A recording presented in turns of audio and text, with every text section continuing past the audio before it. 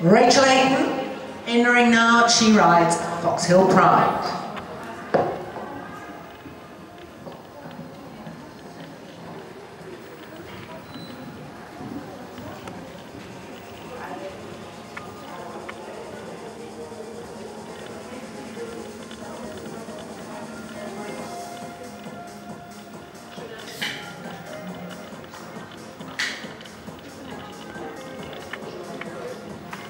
Thank you.